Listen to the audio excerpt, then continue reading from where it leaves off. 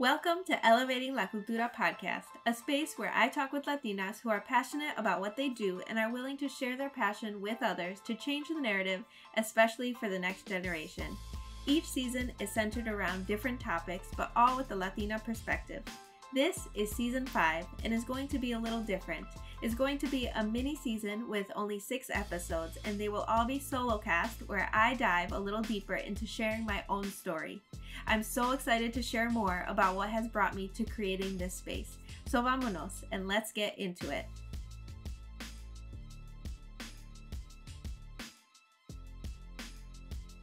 Hola y bienvenidas to a new season. I'm Karina, host of Elevating La Cultura podcast, and I wrapped up season four in May. And after a two month break, I'm excited to introduce season five. Over the break, y'all kept listening and catching up on past episodes, bringing us to over 2,300 downloads. So, muchísimas gracias for continuing to listen and share with your community. If you haven't listened to the first four seasons, you can binge listen to season one featuring Latina entrepreneurs, season two, highlighting Latinas in the health and wellness space, season three with Latina educators, and season four focused on artists and creators. Now, each season elevates different stories, but all with the Latina perspective. We all have passion in our areas of expertise while also pouring into and empowering the next generation because honestly, it starts with us being willing to put in the work to make generational change. After doing a lot of healing work in my own life, I'm excited to introduce season five, where I'll share my story with the listeners. I'm diving deeper on different areas of my life that have contributed to me doing what I do for my family and why I created this community where we elevate our cultura. So let's get into it with episode one. A huge part of who I am is being an entrepreneur.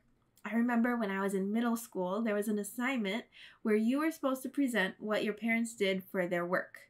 My father worked and my mother stayed home, so I asked her what Papi's job was. Now, I knew that he went to work every day really early in the morning and he wouldn't come home until we were ready to go to bed. But beyond that, I didn't know what he actually did. My mother said he owns businesses, car repair shops. And I guess I knew that a little bit because sometimes I would go to work with him. But I didn't understand the complexity of what entrepreneurship was. So I went to school and said my father was the owner of a car repair shop, and that was it. As I was growing up, my father had hopes of me getting an MBA and working at a high paying job and maybe even living downtown. Obviously, I didn't, but I did the work to get me there anyway. As I mentioned before, as a daughter of an immigrant, that push for a higher education is strong. I was conditioned to have that as my goal. So school became my job. Getting A's was the only option for me. The praise I got after a straight A report card was unmatched in my mind. It was my value. I saw that my father was working hard for his family and he wanted to ha- his kids to have the education and opportunities he didn't have, and I understood that. So I leaned into it. School was my priority, but I didn't know what the end goal was exactly. As long as I focused on what was right in front of me, I felt good. Where the confusion came in was in what I was supposed to do with my good grades. I guess, go to college, but then what? And it became a bigger question when I went to school for something that wasn't an MBA, but rather in a creative field. I'm going to get into my college story later in another episode, but it's important to mention that during my college years, my end goal would shift every year, which is something that even I wasn't prepared for. When I graduated high school, I was like, great, I made it to the end and I got into college, pero ahora qué? I guess I'll go to college and see what it's about, and it would be all good as long as at the end I would have a job that would pay the bills. The only thing is that I went to college from 2004 to 2008. meaning that I graduated into a recession. Now, I went to school about three hours from my childhood home. And so for the first few years, my father would drive me back and forth whenever I had a break or wanted to come home. These times ended up being the most special times in my life, even now. This is when I truly understood who my father was, and even now, I know that I only know a fraction of his stories. But it would be three hours of random stories stories about his past jobs, his childhood, current stories about what was happening and frustrating him at work. We would laugh, we would be serious, and we would simply enjoy each other's company. It was during this time that I understood what he did. He was an entrepreneur, and not just an entrepreneur, but someone who also poured into other people and taught them and encouraged them to be entrepreneurs. He gets excited about ideas and figuring out how to make them work and turn them into a profitable business. He still does. I realized that he valued education in his kids' lives, but also in his own life. Even in his 60s, he is still taking classes and learning new skills. When I graduated college, I had no desire to go into the field that I graduated in. And with graduating into a recession, it was no surprise that I went to work for my father. I had worked with my father during summers in high school and I came home for the first two summers I was in college and literally helped him launch a new business. It was a Mexican restaurant. So when I graduated college, I asked my father if I could work for him, to which he said, yes. And I worked so hard, probably the hardest I worked in my life. I remember waking up before 6 a.m. and working past 6 p.m. most days. I'd work in the restaurant, I'd work at the other shops he had. I did all the things to help my father's job run smoother accounting, inventory, random deliveries, serving at the restaurant, being the cashier, ingredient prep. I was a dishwasher, whatever was needed, I did it. But I was tired. However, I was also fulfilled to be able to help my father in this way. And it was there that I learned and saw the potential I had to one day build my own business. Ironically, after burning myself out, he fired me. Yes, he fired me from his business. I was shocked, shook, but es lo que era. And so I decided to move back to Michigan, where my boyfriend at the time lived, and I went to school to get certified as a CNA and started working in a nursing home in Michigan. At the time, my boyfriend had a side business taking pictures in his hometown for weddings, families, really anything people needed pictures of. When we were engaged, I started going with him to these sessions and started helping him out. And that is where I saw the potential of building a photography business. He knew the craft, I had the basics of photography, but I knew I could learn quickly. And most importantly, I knew the framework on how to build a business. And I never thought in my mind that I couldn't do it. It was just a matter of when. Here is where we start seeing how photography made its way into my life. I was ambitious and I wanted to move his side business to Chicago and grow it so that it could support us and we could work for ourselves. Super ambitious filled with all kinds of hope. It was cute. After moving to Chicago in 2010, after we got married, I started working full time again with my father. Yes, after some conversations, he took me back as his assistant, doing similar things to what I had been doing before, but with clear set hours. And he even employed my husband. So, this white man was working on the south side of Chicago in a car repair shop. Honestly, it's where he learned more Spanish than he had in his Spanish classes in school. It was a time for us to gain some financial stability while we tried to build our wedding photography business. And for that, I am so grateful to my father for allowing us that opportunity. I worked and worked at learning journalistic photography and pairing that with weddings. I have to remind you that this was in 2010, before Pinterest, before Instagram, before it was trendy to be in the wedding and events industry. I was entering the space as it was starting to explode, and I just soaked it up. By the next year, we had finished most of our Michigan weddings and had started to book at least half of our weddings for the year in Chicago. It was then that I stopped working for my father, which gave me the opportunity to really focus on building our business and laying the foundation for how I really wanted to serve our couples. We were starting to build our portfolio in Chicago, and I was slowly growing our profits. By 2013, I was attending all the networking events. And I mean all of them. If there was an event, I was there. I was coordinating pretend events called styled shoots, where we would collaborate with many vendors to produce a pretend event in hopes of getting our work published. After a few of these, I realized that I was doing a lot of work, but not necessarily seeing the recognition that I saw my other peers getting. It was in 2014 that I had felt that I knew a lot of the people in the wedding industry. I was well connected, I was growing our brand in the space, I felt like I was thriving. I was excited to be building something that could serve both my husband and I, and we can do it together. I was excited, but at the same time, I started to notice that I wasn't booking weddings at the same price point and at the same rate as my peers. I was hosting coffee dates where people would quote unquote pick my brain, and I would be so excited to share all the things only to see their success skyrocket in a quarter of the time it had taken me to get where I was in my business.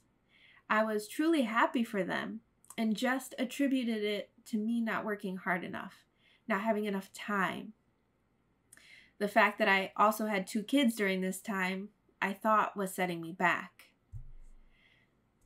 I pulled from my academic conditioning that if I didn't get an A, it was because I didn't study hard enough. If I did something wrong at work, it was because I wasn't paying attention enough to know what to do. I had this expectation to get it right the first time, to always excel. And if I wasn't, then that meant that I wasn't doing enough to achieve what I needed to. And when I saw that I was getting no's after a booking session with potential clients, that meant that I wasn't doing enough to prove my worth. I started to feel bad for what I was charging until I saw that someone who I had helped had just launched her business at a higher price point than I was charging five years in. It was around that time that thankfully I met a friend, a Latina, who started to share the same struggles in her photography business. I was surprised that I wasn't alone. I was also a little relieved that I wasn't alone and that my thoughts weren't just me letting my mind get tripped up. This is when we realized maybe this industry wasn't built to value us as people of color. By 2016, I had finally been able to book out a full year of weddings.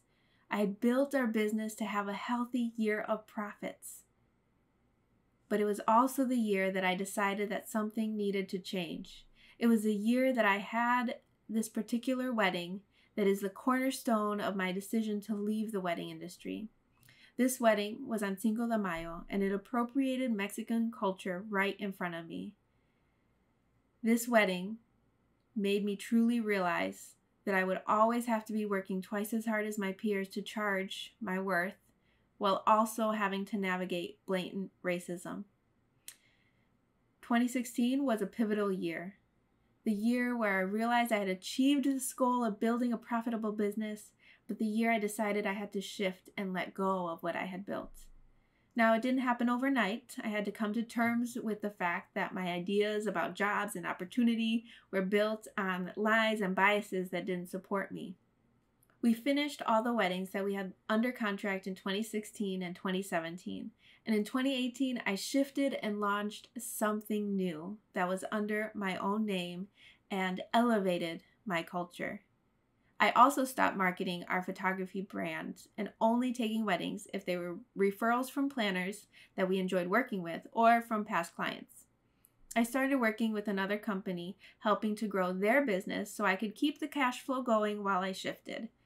2020 was supposed to be my last year with that company and the year that I completely shifted to educating people about Mexican culture through my photography and selling more frame prints.